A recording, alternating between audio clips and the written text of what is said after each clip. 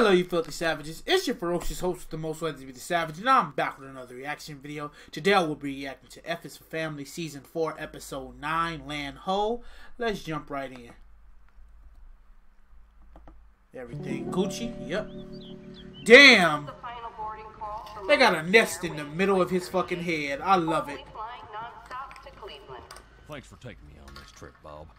I promise, after these training sessions, there won't be any more problems with that X-ray doohickey. That's splendid, Red.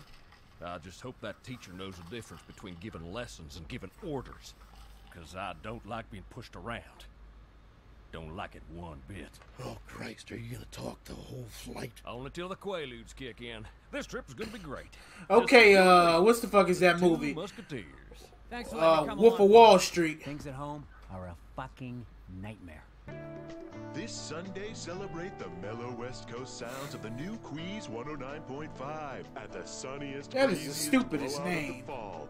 Queeztoberfest. Get your citrus on. Try something called an avocado. I feel like he's gonna, at the last minute, fuck Vic over and sing the original song. and his girlfriend is gonna be there some way somehow, and that's gonna be her. That's gonna be his um offering of love. you. Ever. Well, not forever, Kevin. Wow, longer than I've been alive. Hey, man, I only got 15 years on you. Tell you something, it goes like that. Now, we got a lot of work ahead of us. Especially when you do a Change shit your ton of coke. Change your names, work on your sound till it's breezy as shit. No pressure, but if this doesn't work out, I'm gonna kill myself. That's pressure, my man. Now, let's get fucking mellow. Fucking ingrate. Sucker punches me in the Sucker punch you told him. You saw the punch coming right at you, asshole. Thankless fuck. The guys in the kitchen just loved your story about tricking those immigrants into painting your house. Pies on us. Well, that sweet smile is the sugar in my coffee. Aw, now aren't you the most darling man who ever lived?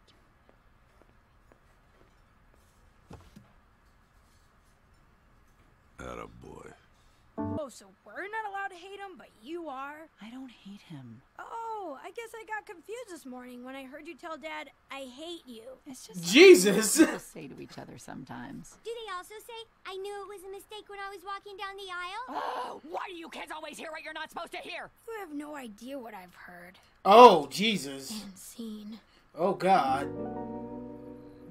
Yeah, that's rough, buddy. I've never gone through that, and I'm glad. Welcome to Invasive Industries. You are here to get FAA certified to operate the See-Through U 2000 X-ray luggage scanner. My name Jesus, is that's a Haskins, mouthful. And over the next few days, I am really gonna see what you're made of those groups. Uh, let's meet your classmates. Uh, You hello meet anybody with any real sense of humor? Wisconsin Derriere. Florida Panhandle Airlines. What is that lump on his throat? Hello, everybody. Alice, over here. It's me, Kevin. I almost didn't recognize you. You look like you're in a rum commercial. Oh, thanks. Yeah. Vic said this is the hot look the industry wants, so. Oh, sorry I wasn't in school yesterday. Vic's been rehearsing us since Tuesday. I haven't eaten anything except iguana chow the last few days, but I feel Iguana child. Kevin, I don't know about this Vic guy. He's changing everything about you. Are you really okay with all this? Sue, I'm glad you've learned the most valuable lesson a woman can learn. We do not need men. I guess it feels that way sometimes. No, Sue, we don't need them. Men are a biological design flaw. Oh. And when new technologies provide us with synthetic semen and robots to open fussy pickle jars, what will men have to offer us? Nothing. They will be obsolete. Welcome to 2020, ladies and gentlemen. No, They don't feel right. Fucking doing this. Vic, I, well, I'm just saying, th- this stuff doesn't feel like me. Shut your little fucking mouth, okay? You want me to cut you? Because I'll cut your fucking throat. This is show business, you little cunt.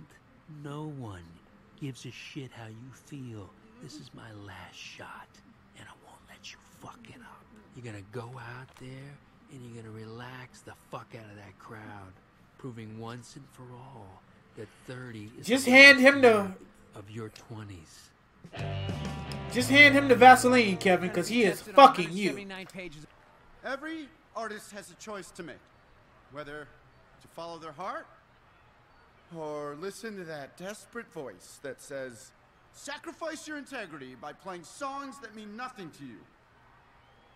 Well, to that voice, I say, You can do it, Kevin. He is going to fail so hard at this.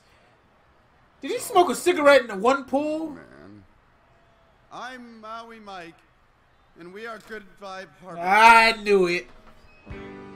I'm Mr. Chilled Out Guy. Easy breezy sailing guy. Catamarans go cruising by. They can sing about anything you want. I mean, what about what about a drag? Vic, you worthless little whore. Is that cool? Jesus Christ, man. How out of touch can you be? How out of touch do you want me to be? It's not so much the talking, it's the whirling. Frank. So, Hi. um, how's home? Everybody's fine. The bed feels empty without you. I miss you too. I, I, I, I don't like being away from you. The day I met you, I, it was the best day of my life. Oh, Oh, yeah.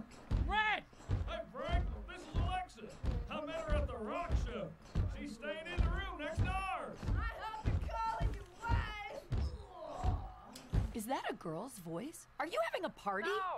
I'm, I'm just trying to say that I, I am so lucky that I, I get to start every day with you next to me. Because I asked you to call me. I want you to call me because you want to. I was thinking about it. Oh, you thought about it. Oh, and now we descended to madness. I guess you were too busy having fun with your work buddies. I'm not having fun. I'm in hell soup. Why is there smoke? I mean, did you think I would miss you if I was out here having fun? You are such a fucking asshole. I am not. You're just like your father. Uh, uh, you take that back. You are exactly like him. Things got bad here, and you ran off. Um, I don't think Alice wants to see me anymore. Oh, honey, I hope that's not the case. What did she say? Well, sh- well, she didn't say anything. She just walked away. She hung up on me in person. Well, you can't leave it like that without talking to her. When you care about somebody, you need to make an effort to work things out. Yeah, you're right. That's good advice. Why don't you do the same with Frank? Time for my grapefruit juice. Helps the blood clot better. Ed, no offense, but could you fuck off? Okay, I mean, Christ, my, my, my whole family hates me. I have a fourth kid on the way. You want to take a bet how long it takes that little guy to turn on me? Gee, Frank. With all that going on, I'm surprised you even came to Cleveland. It's refreshing to see a man show so much enthusiasm for his employer. Oh my god, I want to kill myself with him talking. Dying days. The hell are you talking about? You know, Mrs. Dunbarton is going to sell Mohican to Aliquippa. She what? Oh my goodness. You didn't know? Well, sometimes my mouth moves faster than my brain. Jesus Christ, I dedicate myself to this airline. You can't even guarantee my job. I, I tell you, know what? Take your fucking X-ray test yourself, Bob. Just give me a second to explain. In 10 or 15 minutes. Oh, Jesus. Past a pearl. Goddamn flapping skinned fucking asshole. Nobody cares about me. Look, you give and you give and you give. This is what I get back. You know something? Fuck you all. I'm doing something for Frank Murphy. Fuck are you looking at? I Want to talk this out. Mm-hmm. Uh-huh. Oh God. You think you're Oh no! of course. Uh-huh. How do you spell Of course, of course, of course, the water breaks when they're at their worst, and Frank is about to go off and do something selfish and totally for him. Oh, but that's the essence of babies, isn't it?